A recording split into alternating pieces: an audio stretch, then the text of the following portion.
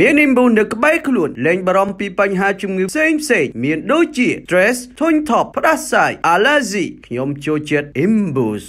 សមត្ថកិច្ចបានចុះបិទបាទ បិទទីតាំងបញ្ចាំខុសច្បាប់មួយកន្លែង បាទដោយប្រកាសឲ្យម្ចាស់ម៉ូតូដែលបានយកទៅប្រចាំនោះសូមមកចូលមកដោះស្រាយយកម៉ូតូរបស់ខ្លួនវិញនេះបើតាមស្នងការដ្ឋាននគរបាលខេត្តព្រះសីហនុដែលបានជូនដំណឹងដល់ដល់បងប្អូនប្រជាពលរដ្ឋប្រសិនបើមានបាត់បង់ម៉ូតូណាដោយបាត់ល្មើសណាមួយឬក៏បានយកទៅបញ្ចាំនេះជាដើមសូមយកឯកសារសម្គាល់ផ្សេងផ្សេងមកពិនិត្យផ្ទៀងផ្ទាត់នៅឯការដ្ឋាននគរបាលខេត្តព្រះសីហនុសមត្ថកិច្ចជំនាញគឺនឹងមានការដឹកនាំសម្របសម្រួលបាទហើយដោយមានវត្តមានរបស់ព្រះរាជអាជ្ញារងលឹមប៊ុនហេងនិងការបញ្ជាផ្ទាល់ពីអាដាមអភិបាលគូចចម្រើនផងគឺថាយើងបានបិទនៅកន្លែងប្រចាំខុសច្បាប់ហើយបានដកហូតម៉ូតូជាច្រើនគ្រឿងបាទ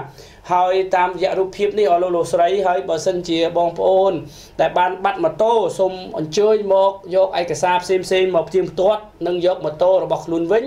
ហើយមួយទៀតនោះបើសិនជាបានបញ្ចាំសូមឲ្យបងប្អូនយកឯកសារមកផ្ទៀងផ្ទាត់សម្គាល់ផ្សេងផ្សេងហ្នឹងគឺយកម៉ូតូរបស់ខ្លួនវិញរៀងរៀងខ្លួនដូច្នេះម៉ូតូទាំងអស់នេះបាទត្រូវបានប្រមូលយកមករក្សាទុកនៅឯស្នងការដ្ឋាននគរបាលខេត្តព្រះសីហនុបាទនេះគឺជាការជូនដំណឹងបាទរបស់ស្នងការដ្ឋាននគរបាលខេត្តព្រះសីហនុបើសិនជាបងប្អូនណា បាទបានដឹងបានឮហើយដែលបានបាត់ម៉ូតូកន្លងទៅបាទឬក៏យកទៅប្រចាំអីនេះសូមចូលខ្លួនយកឯកសារអីឲ្យបានគ្រប់គ្រាន់សម្គាល់ឲ្យបានត្រឹមត្រូវទៅយកម៉ូតូវិញផងបាទ